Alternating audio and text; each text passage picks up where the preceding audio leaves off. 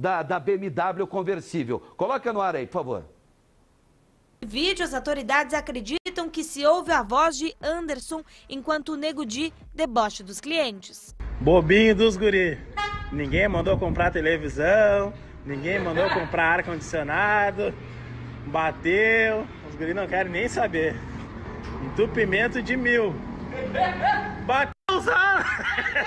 Olha os ar chegando, ó. O ar rarefeito. Ele! Tá chegando Não ar, meu. Tá Não chegando, não incomoda. E a TV chegou já, ó. Chegou a TV aqui, ó. TV branca.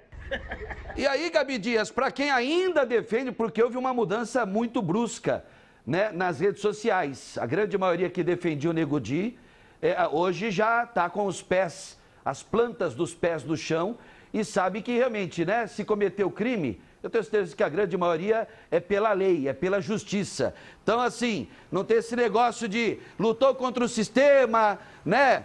Criticou duramente o governo estadual, governo federal e agora está pagando. Cadê a liberdade? Esse negócio de liberdade aí é. A liberdade é nossa que estamos aqui, ó, mostrando que, né? é, duran- é, a gente sabe muito bem como que tem a questão da ideologia partidária. Mas é, é, esse vídeo e outros vídeos foram fundamentais para que a justiça é, deferisse o pedido de prisão preventiva, tanto do Nego Di como do sócio dele, ou ex-sócio dele, o Anderson Bonetti. Agora, eu, eu- uma fonte minha, e aí vem o X da questão. Esse é o vigarista, esse é o pilantraço, né? Anderson Bonetti. Uma fonte minha, Gabi Dias, diz que tanto a Polícia Civil como o Ministério Público podem enquadrar Anderson Bonetti e Nego Di por outros crimes. Tem a questão da falsidade, a falsificação do documento da, do Pix, né? A doação para enchente, mas não é só isso não, tá? Porque a grande dúvida, e a polícia está investigando isso a fundo, juntamente com o Ministério Público, só os dois participaram desse rolo todo, é? Será que Pois só os é, dois? Não pois teve, é, o par- que- não teve participação de mais gente, né, Gabi Dias? Inclusive, é, pode, fica... pode falar, Gabi. Desculpa, perdão, a gente já se interrompendo aqui, é muita informação chegando, tu vai pensando, eu vou pensando daqui, mas na verdade o que eles vão investigar nesse segundo momento agora também é a lavagem de dinheiro, porque na conta né, da Tadizoeira, lembrando que empresa que ficou no ar apenas quatro meses, porque eles já tiveram que sair do ar por um pedido judicial, né, porque eles estavam vendo que não estava funcionando, não estavam entregando, então a Tadizoeira, ela já vem sendo investigada pela lavagem de dinheiro, porque durante esse tempo eles movimentaram 5 milhões de reais, mas esses 5 milhões não ficaram dentro dessa conta. Eles foram levados para outros lugares. E aí o delegado Sodré estava explicando na manhã de hoje o que, que acontece. Esse dinheiro, se ele foi enviado para outras pessoas, ou se, por exemplo, na época desse nessa, nesse processo, nessa operação em que o Anderson Show também estava envolvido, eles lavaram dinheiro com criptomoeda. Então, eles estão investigando se o dinheiro foi enviado para outras contas, se também é considerado lavagem de dinheiro ou se eles usaram para uso próprio. Se eles usaram para uso próprio, é apenas estelionato. Se eles lavaram esse dinheiro, se eles mandaram para outros lugares, aí eles vão responder por um segundo crime. É, lavagem de dinheiro e também, se for comprovada a participação de mais gente, pode rolar aí uma formação de quadrilha. Aí essa, essa é a questão que eu queria chegar.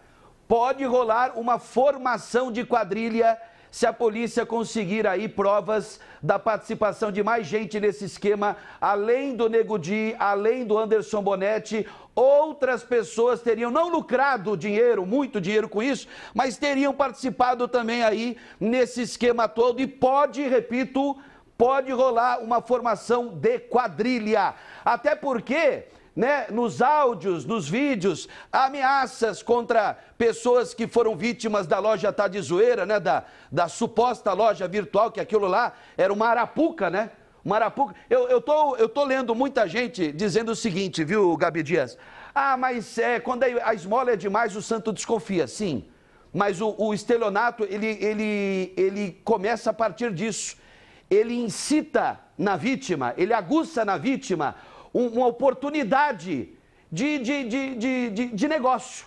Né? Isso não só no golpe do Nego Di, no, no golpe do Anderson Bonetti, o golpe do pacote, o golpe eh, do cheque sem fundo, do bilhete premiado. Os estelionatários em geral, eles, quando eles vão praticar o golpe, né, eles, de certa forma, eles incitam na vítima, eles aguçam na vítima uma oportunidade legal. Não de levar vantagem, mas olha, eu vou comprar um, um aparelho de ar-condicionado que custa dois mil reais por 900 reais. Olha que bacana.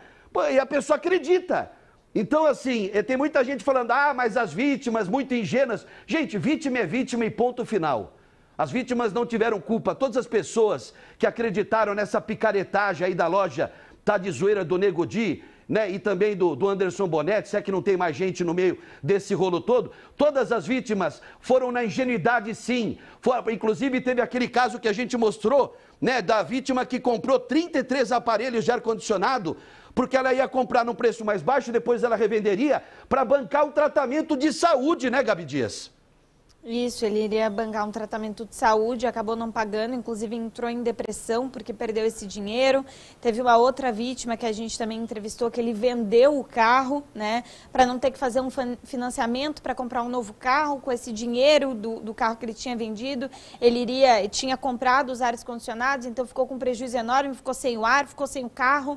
Então, quer dizer, né, claro, essas pessoas são vítimas, mas é importante a gente fazer esse alerta aqui para você que nos acompanha nesse momento momento de que isso não existe. Não existe pagar metade, um terço do preço do que na verdade é um aparelho para você re revender e conseguir fazer um bom dinheiro com isso, né? Foi isso que as pessoas mais viram. É difícil uma pessoa que comprou só um ar-condicionado, comprou só uma televisão para uso próprio. As pessoas viram nisso uma oportunidade de ganhar mais dinheiro em cima. Sempre desconfia. A gente entende que pessoas, é, influencers nesse nível, né, tentam pela ostentação e são pessoas que de fato, né, o Nego Di começou de baixo. Ele começou de baixo, muita gente me disse, olha, eu já conhecia ele não só da internet, ele era do mesmo bairro que eu, ele era de um amigo, eh, amigo de um amigo meu, então quer dizer, viram ele crescer, né, e adquirir grandes coisas. Por isso essa ostentação, essa ostentação com carros que valem, né, meio milhão de reais, ostentação com diversas casas, e as pessoas pensam, bah, eu também consigo chegar lá, e eu vou começando assim, ele está me ajudando, eu vou indo.